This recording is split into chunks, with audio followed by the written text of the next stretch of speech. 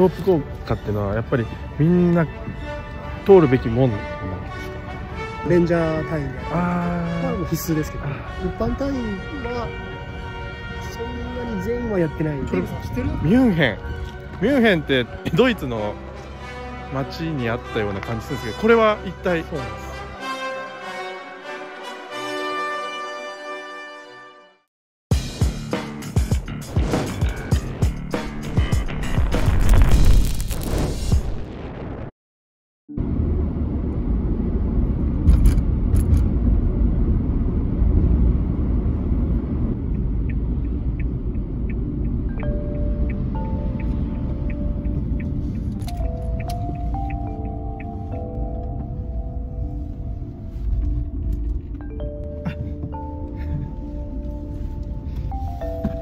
ませんよろしくお願いします。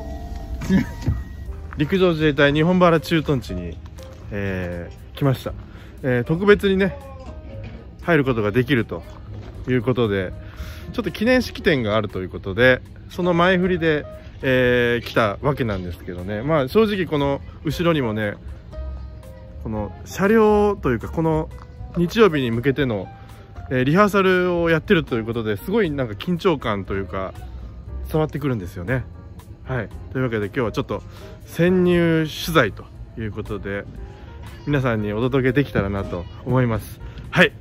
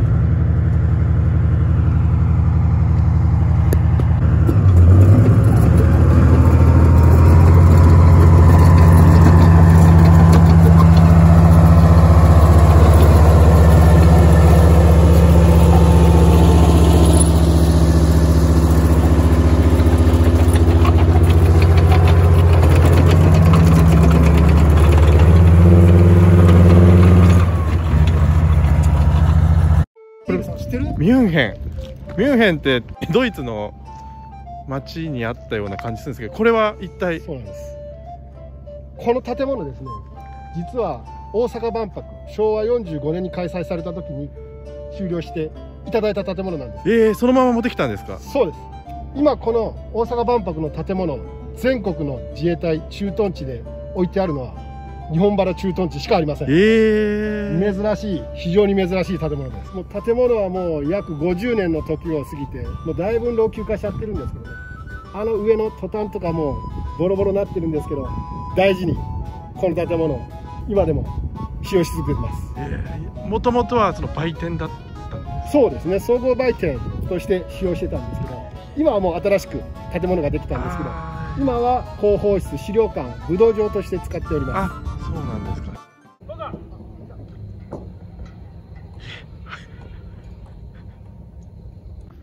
たまたま訓練。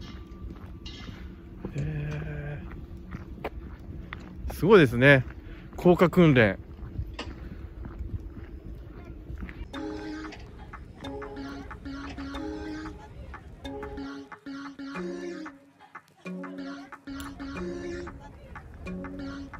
はい、えーと、たった今ね、この後ろでロープ効果の、えー訓練をされてるということで、ちょっと見てみましょうかね。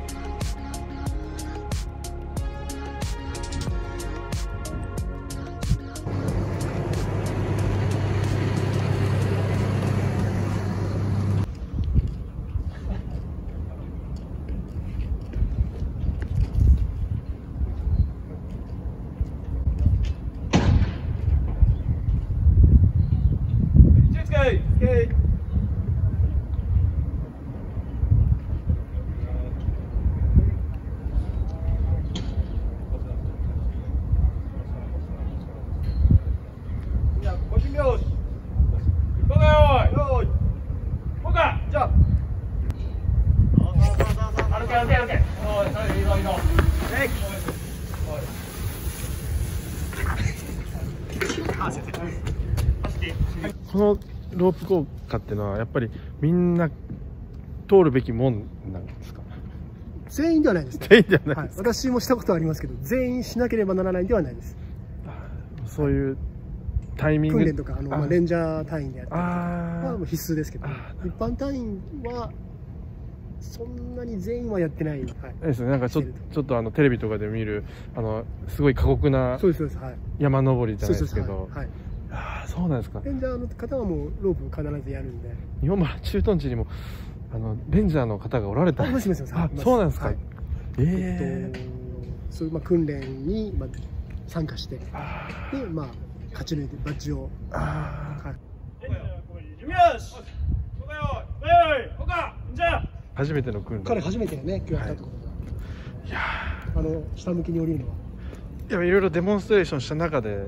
訓練をね重ねてでできるようになるとはいすごいですねでも初めてでも普通にすごいですねはい、ここでお知らせです。スピチューブインスタグラム始めました。ぜひチェックしてみてください。よろしくお願いします。これが自走自走法ですねなんかもう今でも今はもう使われもうこれは昔のなりますねそうですねさっき走ってたのもね。74式、はい、74式戦車。これ実際に乗れるんですよね？なんかその。上に上がったりもねあ触って触ってもらってこのは分厚さね硬いなってところで。60これ61式戦車ですね。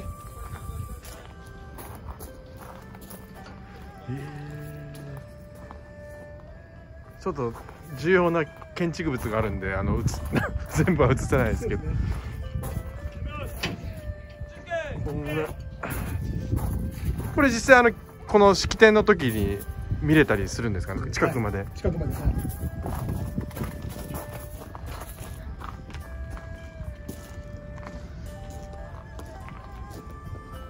これがなんか兵員輸送車みたいな。そうですね。はい。APC ですね。ちょっとここでねあのーなんか一言最後にお願いしできたらなと思うのでなんかお願いしますはい、わかりました。えー私、日本原駐屯地広報市長です。えー令和2年11月29日日曜日、日本原駐屯地は創設55周年記念行事を挙行いたします。えー今回は、えーコロナウイルス感染予防対策のため、えー皆さんをお呼びすることはできませんが、日本原駐屯地はそれでも一生懸命できることをやって頑張っていきたいと思います。どうぞこれからも日本原駐屯地をよろしくお願いします。また動画については後ほど公開します。よろしくお願いします。はいありがとうございました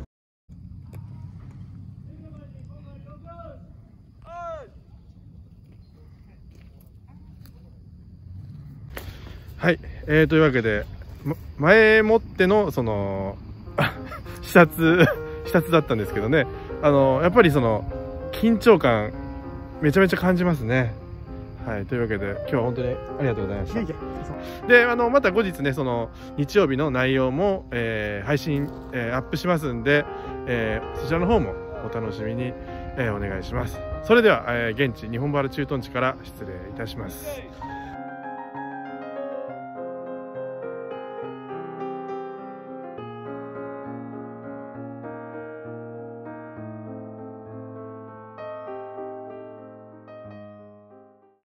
ラバンスピチューブ始めました。普通では上げられない動画未編集の動画を主に上げてます。ぜひチャンネル登録よろしくお願いします。この動画をいいと思ったらグッドボタン悪いと思ってもグッドボタンチャンネル登録もよろしく。